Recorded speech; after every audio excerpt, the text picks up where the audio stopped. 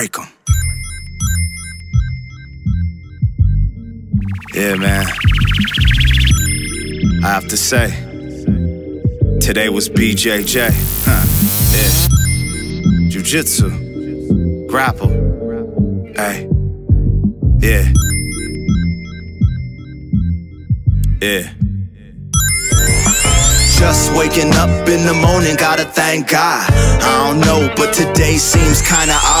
Jiu-jitsu with the squad, go hard. Plus I tapped a higher belt, no prob. Got the sub, but didn't spaz out. Finally hit a move that I didn't even plan out.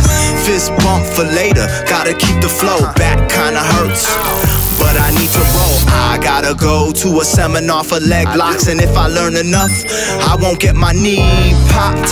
Had to stop, get my head right. All these collar chokes got my neck is. I got a bag of Epsom salt, and we can soak all night. Back on the mat.